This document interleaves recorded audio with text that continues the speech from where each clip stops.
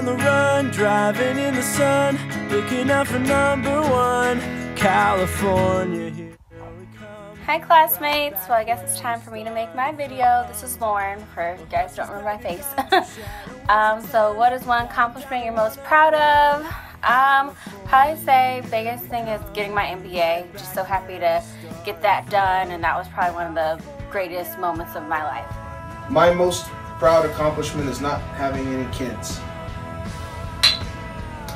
And mine would definitely have to be graduating from college and from graduate school within a very limited time frame. Gotta be proud of that. Uh, graduated from college, becoming a high school English teacher. and sober, clean and sober for over three years now, and my life is exceptional and so much better. One accomplishment that I am most proud of is probably the decision that I made to go back to fashion school last year. I have always been really big into fashion and I love writing and since finishing my program I've had some of my work published in a magazine so that was pretty exciting for me.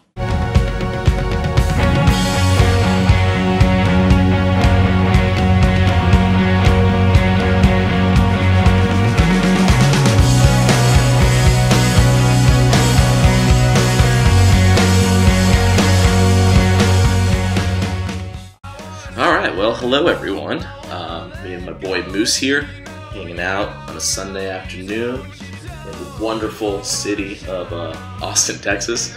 And I got a email from Tori and the reunion crew, and Tori put together this wonderful list of questions uh, to make the reunion extra special that I'm gonna make an attempt to answer because uh, I think one, uh, I'll do anything for Tori Smith except that, Tori.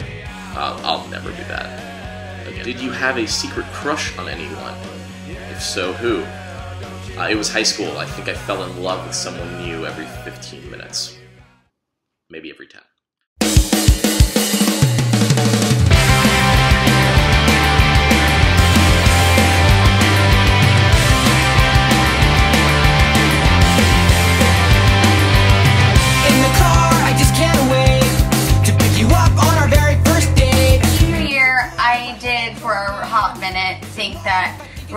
Ryan Newbro was pretty dang hot. Just saying. Um, I had a crush on Coach Boyd. Don't tell him. I hope he's not gonna be there. This night's almost over. Honest, let's make this night last forever, forever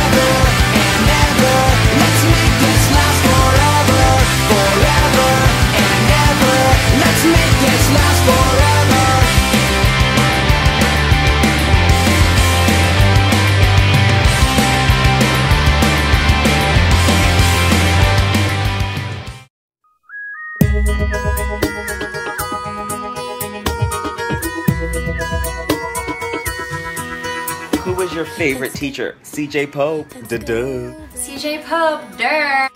Um, probably Mrs. Berg, Mrs. Sword. by far Mr. Cater. Um, yeah, I know I'm a math science nerd, so I think uh, Mr. Cater was great. Uh, I felt like I was on a game show every time that I was in his classroom and I was just one of the contestants and he was the host. I mean, he would point and he would just be like, What's the answer to that question? Like 200. Be like, That's right! Always like Mr. Andrea. Uh, have respect for that man. I think you walk into that classroom and you are learning history whether you like it or not. Miss Miss McLean, Celia McLean, uh, did the yearbook, taught some English too, and uh, I think she felt more like a cool older sister than a teacher. But she didn't really put up with any BS, and I, I dug her for that.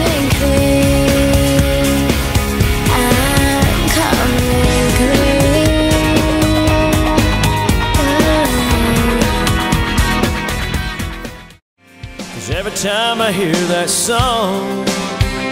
And I go back to a two-tone short bed Chevy Driving my first love out to the levee Living life with no sense of time.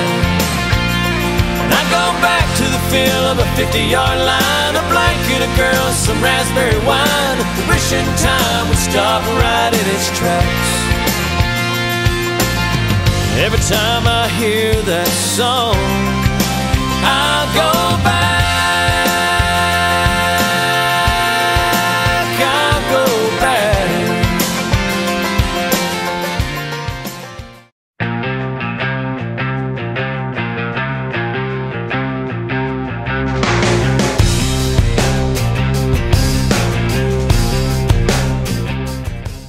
So the most embarrassing thing that happened to me in high school was when I was in Mrs. Ward's language arts class. And I think that this is really embarrassing because I was the only one in the class um, during the hot weather that we have here in Bakersfield that I was actually wearing a hoodie in her class. And she was very concerned about me because um, everybody else was wearing tank tops and shorts and um, not wearing all, too much clothing on. Writing love letters that were never read. I'm what I gotta do, or who I'm supposed to be. I don't wanna be anything other than me.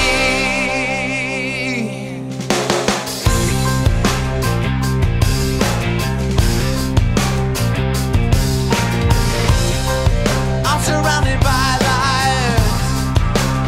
Everywhere turn. You know, the craziest thing I did in high school was go to Sadie Hawkins dance. I think it was freshman year um, with the blind date, and it turned out good. Craziest thing I did in high school was going through a Carl's Jr. drive-through with a friend of mine and throwing a flaming ball of fire at him while he was driving. Me, Erica Finley, and Katie Neblett ditched school, and I think we went to Taco Bell or we went to something. We did we did something very mediocre, but at the time it was so exciting. Um, yeah, I think that was the craziest thing that I did. Well, I had sex in the drama room closet.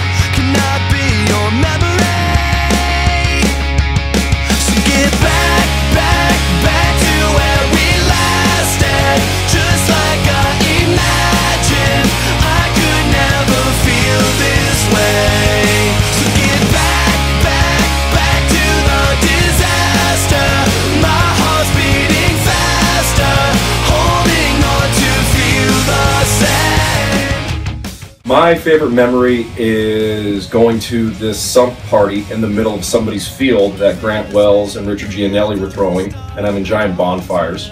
That was definitely a lot of fun. This one's kind of messed up, but some of my brother's friends staged a fake kidnapping of uh, Adfaith. And uh, Adfaith at the time uh, was at my house, and he went out on the street, and my brother and his friends came out, or some of them did. Listen, I'm not going to incriminate anyone with like fake guns. They were all dressed in black, had face masks on, and they threw him in the back of a car, and uh, I think like put a bag over his head or something. And uh, at some point in this whole thing, while they were kind of just like telling him to shut up or whatever, he busted out of the car and decided to run for it.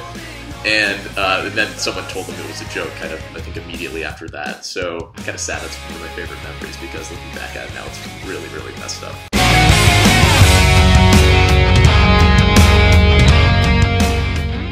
I could give my high school self one piece of advice, it would probably be to go to more parties, talk to more people, and kiss more boys. Uh, crack is whack, young Mario. Crack is whack. Buy Apple. It's at five bucks a share right now, and it's gonna get to 115 by your by the time your young self grows another 10 years, and you're gonna make a ton of money if you just buy Apple. So make money, young Mario. To not take calculus. You don't need to take calculus, you're gonna be an actor. I didn't need calculus. I did not get derivatives, okay?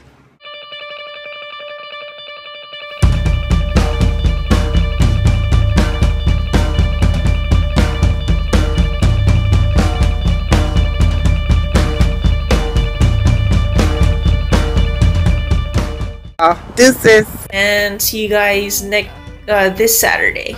All right, thanks. I hope you guys have a fantastic reunion, and I wish I could be there. Really nice seeing everybody. Y'all, cheers. I drank your scotch. That was rude. Bye. Um, had a great four years at Stockdale and can't wait to see you guys. Those are my answers. I'll see ya. All right, and uh, that was all the questions. So hope to see everyone there, and hope everyone has a good time and ends up in my backyard later on tonight.